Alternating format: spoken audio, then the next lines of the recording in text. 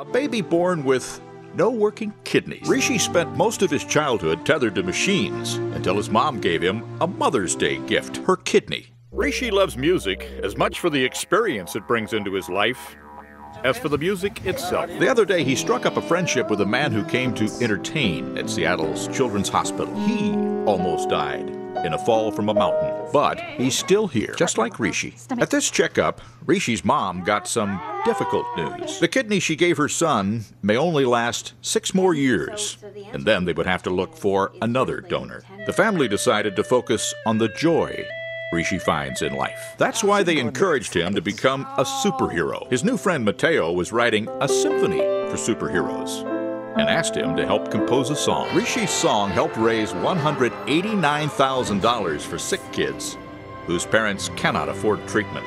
I am. That's what superheroes do.